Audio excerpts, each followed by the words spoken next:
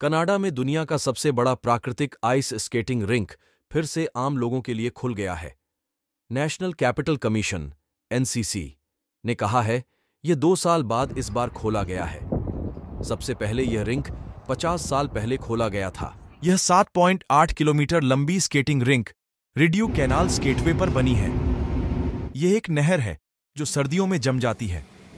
वह भी इतनी सख्त हो जाती है कि इस पर आप बेहतरीन स्केटिंग कर सकते हैं। कनाडा की राजधानी ओटावा में मौजूद इस नहर को यूनेस्को वर्ल्ड हेरिटेज साइट का दर्जा मिला हुआ है। कितनी भी भयानक सर्दी क्यों ना हो, लेकिन स्केटिंग के चहेते यहाँ ज़रूर आते हैं। इसके पहले दो वर्षों तक यह नहर स्केटिंग के लिए खोली नहीं गई थी, क्योंकि यहाँ पर पर्याप्त मात्रा में बर्फ़ नहीं जमी थी। एनसीसी ने कहा कि बढ़ते तापमान की वजह से पिछले दो साल सही बर्फ़ नहीं जम पाई, इसलिए स्केटिंग नहीं हुई।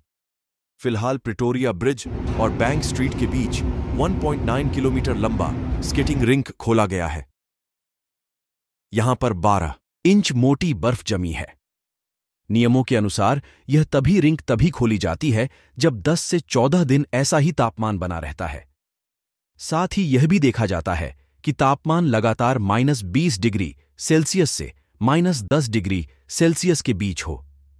इस बार यह दोनों स्थितियाँ बर्फ़ जमाने और एक छोटे सेक्शन को खोलने के लिए सही बनी हुई थी, इसलिए खोला गया।